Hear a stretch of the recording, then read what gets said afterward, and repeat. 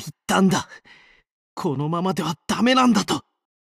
もう何ヶ月も、山賊ごときが好き勝手を働いている。このイリアで。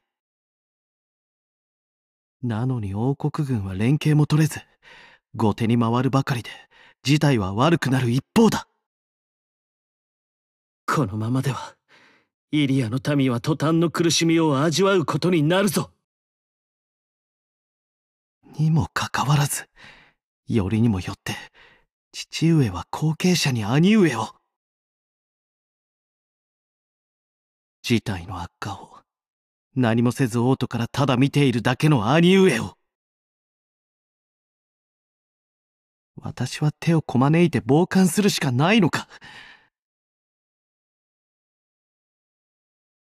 いや、来月には、来月には、騎士連合の代表団が合同軍事演習のために王都を訪れる。皆に私のことを見直させる。またとないチャンスだ。この軍事演習でエリアに恥をかかせはしない。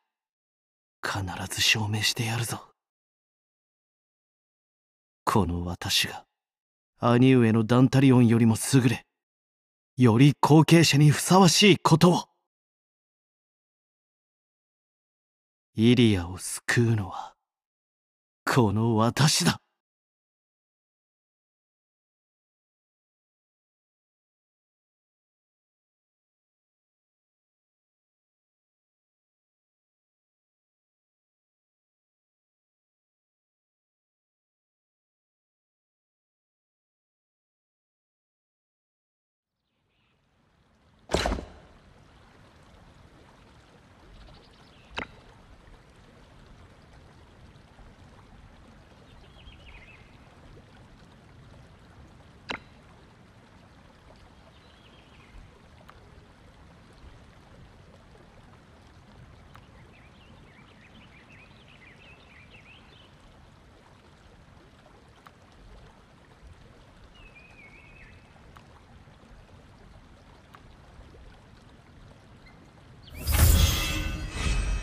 次は私の番。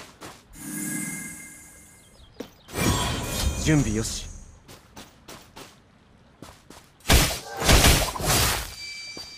次のターゲットはドイツだ。次は私の番。どうも。準備よし。仕留めました